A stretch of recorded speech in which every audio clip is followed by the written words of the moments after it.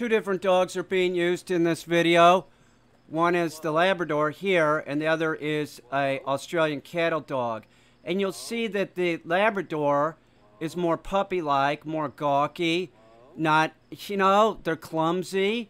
The cattle dog at this point, they're both about the same age, about six months, is is functioning much more like an adult. You'll see Gus here sort of, sort of, see? He's clumsy. This is a typical Labrador. And you can't, you can't worry about it and don't start um, comparing one dog to the other because they're all different. This dog is doing great at hold, really good, and um, the cattle dog is, is slower picking up hold. Never compare one dog you have with another dog. No dog is stupid. No dog is smart. They're all trainable. That's my point. All dogs are trainable. Whoa.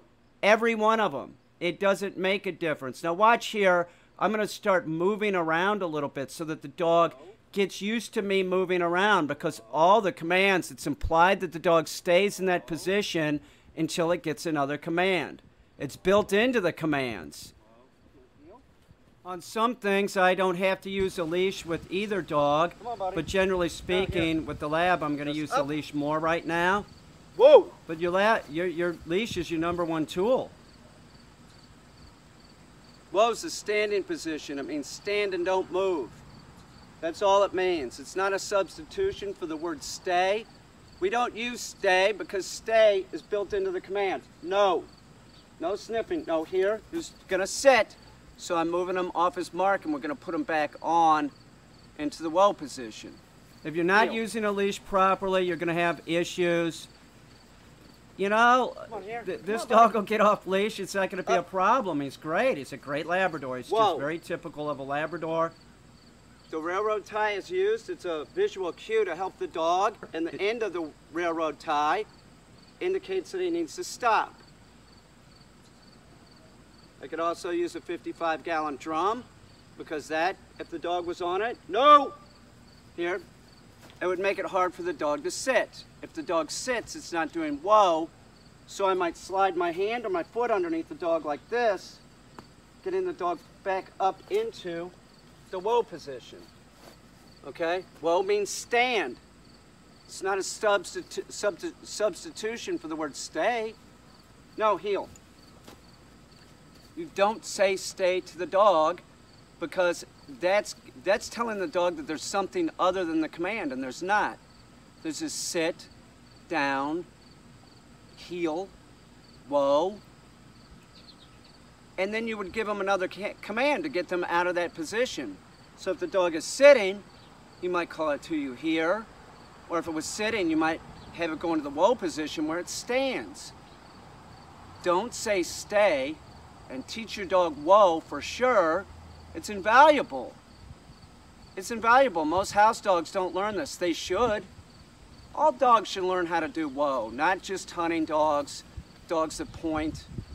It's invaluable. It's muscle memory. Get the dog doing it, and they like it. Heel. The red heeler is typical of the red heeler. At six months, it acts sort of like uh, some of the small terriers do, like an adult. This dog will be a doofus for two years.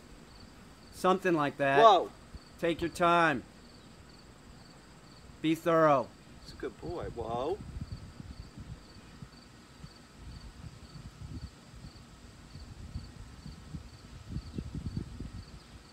Here. No, here. Settle up. Whoa. Off leash. There's the tail, slow wag. Heel. Come on, let's go. Toto up. Whoa!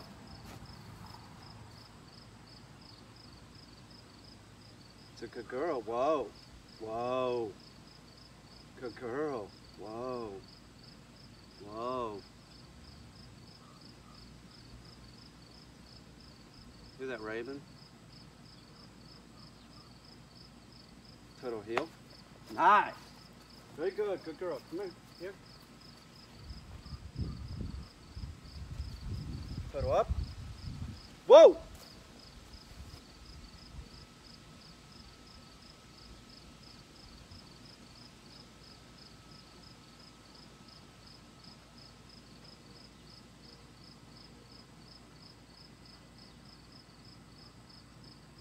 Yeah, good dog. Come on, baby, heel.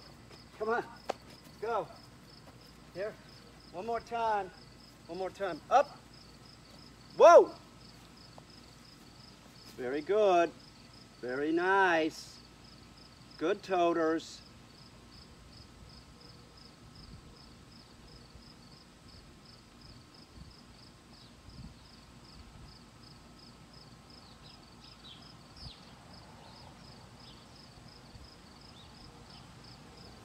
Come on, here. Toto, here. Good girl. Let's do it one more time. Let's go. This is important here because she's sort of messing up. See how she did that? She's not supposed to do that. No, And watch what she does here. Toto. I'm reading her. I'm like, well, that doesn't make any sense. Okay, now up. We're gonna finish out, but I'm thinking she needs to go to the Whoa. bathroom. See, right. that's unlike. Toto. That's unlike Toto. Watch on, this. So, Toto. so Up. I think she has to go to the bathroom, but we're gonna make her finish out. I'm not gonna hold her there long. She's allowed to make mistakes. She's not a robot, she's a dog. No!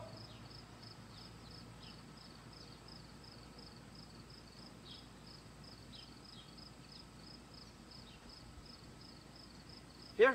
Good girl. Toto's sniffing around like she has to go to the bathroom. That might have been why uh, she sort of was floundering at the end. She did, she did great. But no, look at your dog. Watch your dog when you're training the dog. If the dog is sort of um, excited, let the dog go to the bathroom. And if the dog goes to the bathroom, then go back to work. That's many times the, the case when you see a dog that's sort of having issues that you know knows something real good.